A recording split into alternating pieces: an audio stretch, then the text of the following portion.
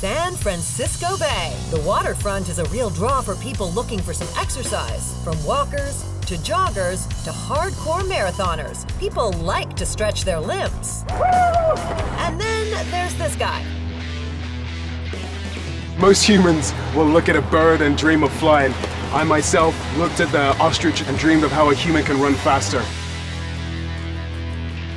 My name is Keahi Seymour. I'm the inventor and founder of the Bionic Boot. He's geared as the transportation fitness device of the future. Today, he's testing his life's work over rough terrain on the hills of Marin County, high above the Golden Gate Bridge. As I'm running, I feel catapulted into the air, almost like an animal or a superhero. So it's a feeling of the boots is less like a trampoline, more like a catapult. So with each stride, the lever catapults you almost at a 45 degree angle quite exhilarating.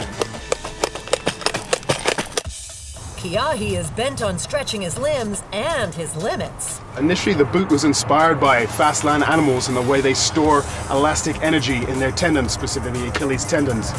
This boot replicates that by use of natural rubber springs here. Uh, and as the boot runs, there's a pivoted lever which then flexes the tension springs at the back, which store the energy.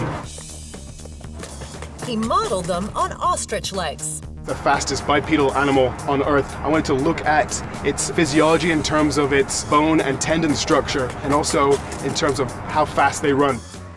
The length of the boot gives you increased stride length. So uh, this stride length will also increase speeds. Uh, for example, the ostrich itself has a stride length of 20 to 25 foot. Mine currently is at 10 to 12 foot. I want to increase that so I can achieve the speed of an ostrich of 45 miles an hour. It's a dream he's chased for almost 20 years. I made the first prototype when I was 18 years old.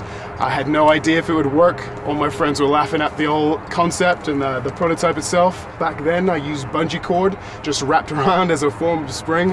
Uh, but as I took the first few steps, it was quite exhilarating to feel the power in each stride being snapped. It did break after a few strides, but uh, it was the first step along the, the road to what we see here today.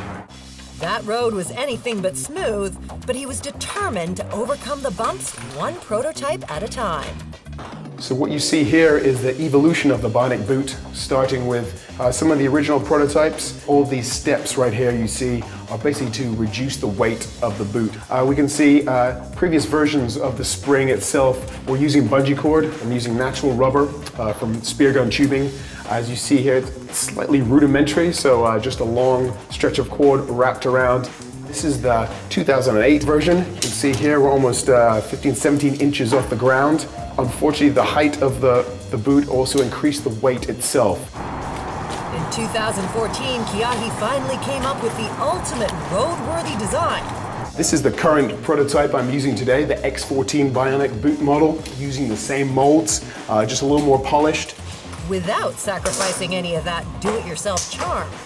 True inventor fashion. we're here we have a mountain bike tire glued to a piece of foam and then attached to a, a piece of aluminium here. Unsurprisingly, Keahi and his boots create a commotion whenever and wherever he goes. I think it's due to the futuristic, animalistic aspect of it, be it part sci-fi, part robot legs. I think people are very intrigued by the boots. Uh, not all want to, we would like to try them, but that percentage that do want to try them, want to buy them immediately.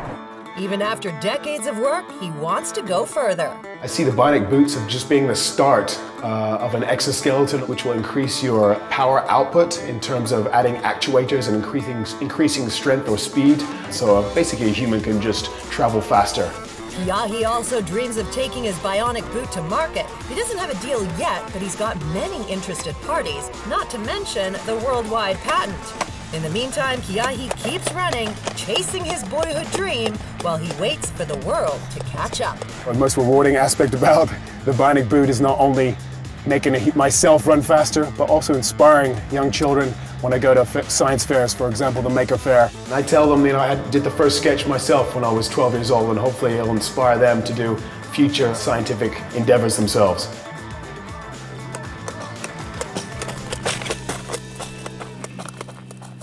Pretty cool.